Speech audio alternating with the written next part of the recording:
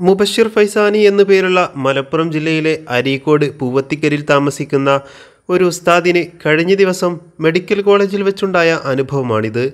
അദ്ദേഹം വളരെ വൈകാരികമായി തന്റെ ഫേസ്ബുക്ക് പേജിൽ കുറിച്ച അനുഭവക്കുറിപ്പ് നമ്മളൊക്കെ അറിയേണ്ടതാണ്. ഇത്രയേ ഉള്ളൂ ഒരു മനുഷ്യനെന്ന് നമ്മൾ അറിയാതെ ചിന്തിച്ചു പോകും. അദ്ദേഹം പങ്കുവച്ച കുറിപ്പ് ഇങ്ങനെ. ഇന്നലെ രാവിലെ blood donors Kerala Malappuram group admin Shefeeq message അയക്കുന്നു. അത്യാവശ്യമായി എട്ട് യൂണിറ്റ് രക്തം വേണം കോഴിക്കോട് മെഡിക്കൽ കോളേജിൽ. ഒരു യൂണിറ്റ് നിങ്ങൾക്ക് നൽകാൻ പറ്റുമോ? വിവരമറിഞ്ഞ ഉടനെ തയ്യാറാണെന്ന് അറിയിച്ചു. അദ്ദേഹം രോഗിക്ക് എന്റെ നമ്പർ കൈമാറി.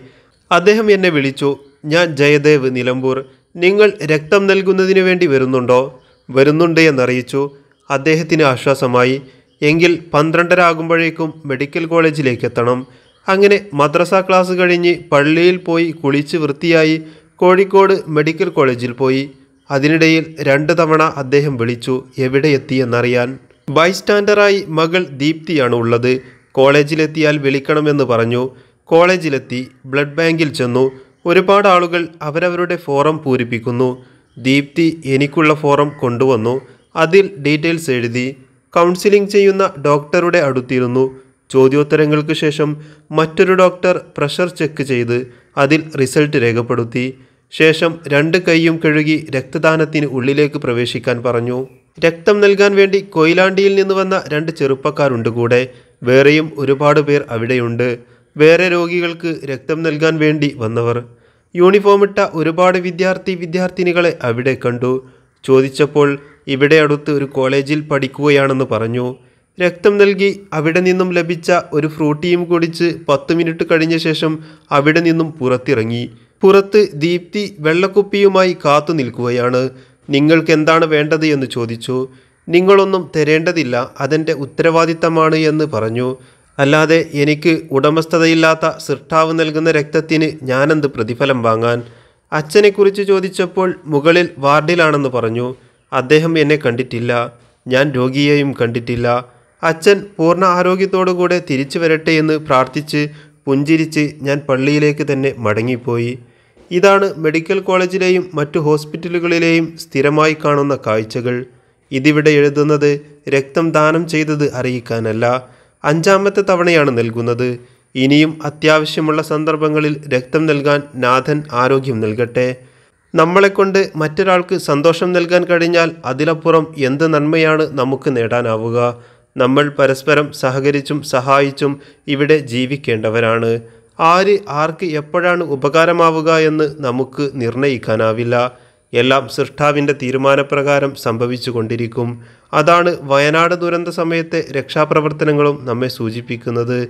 രക്തദാനം ചെയ്യാൻ അവസരമൊരുക്കി തന്ന റബ്ബിനെ സ്തുതിക്കുന്നു. അൽഹംദുലില്ല ഇത്രയുമാണ് മുബഷിർ ഫൈസാനി തന്റെ ഫേസ്ബുക്കിൽ കുറിച്ചത്.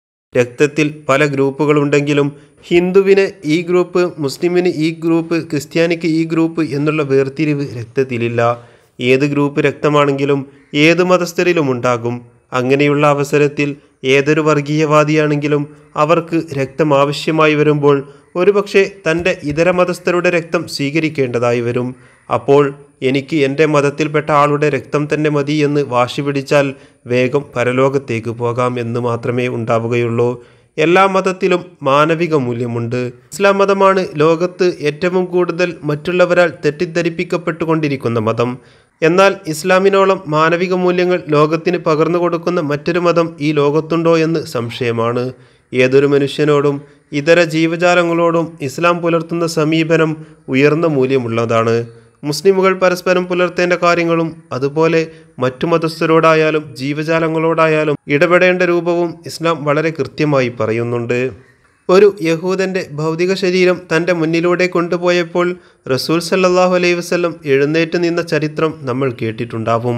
അയൽവാസി ഏത് മതക്കാരനായാലും അവിടെ ഭക്ഷണമുണ്ടോ അവർ പട്ടിണി കിടക്കുന്നുണ്ടോ അവർക്ക് എന്തെങ്കിലും ബുദ്ധിമുട്ടുണ്ടോ എന്ന് പരിശോധിക്കൽ എല്ലാ മുസ്ലിമിന്റെയും ബാധ്യതയാണ്. ഒരാൾ തന്റെ മുന്നിൽ കൈ കാണിച്ചാൽ അവിടെ മതം നോക്കാതെ അവർക്ക് വേണ്ടത് കൊടുക്കൽ ഒരു മുസ്ലിമിന്റെ ബാധ്യതയാണ്. ഇങ്ങനെ തുടങ്ങി ഇവിടെ പറഞ്ഞാൽ തീരാത്ത അത്രയും മാതൃകകൾ ഇസ്ലാമിന്റെ മഹോന്നതരായ നേതാക്കൾ കാണിച്ചു വെച്ചിട്ടുണ്ട്.